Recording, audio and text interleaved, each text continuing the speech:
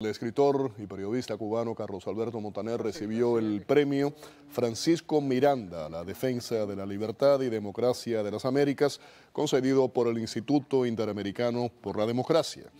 Montaner, uno de los autores cubanos más reconocidos a nivel mundial, declaró que el régimen cubano tiene que acostumbrarse a la idea de que ha fracasado y totalmente y que no tiene ninguna posibilidad de prevalecer significa que me estoy yendo.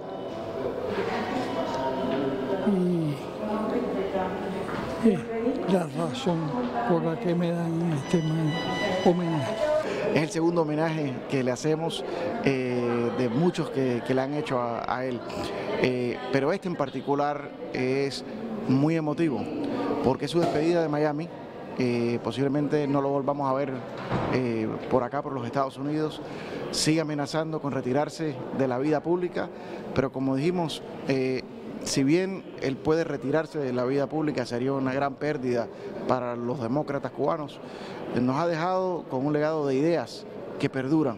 Y esas ideas son las que vamos a llevar para ganar en ese campo de batalla que hace rato estamos lidiando con la dictadura cubana.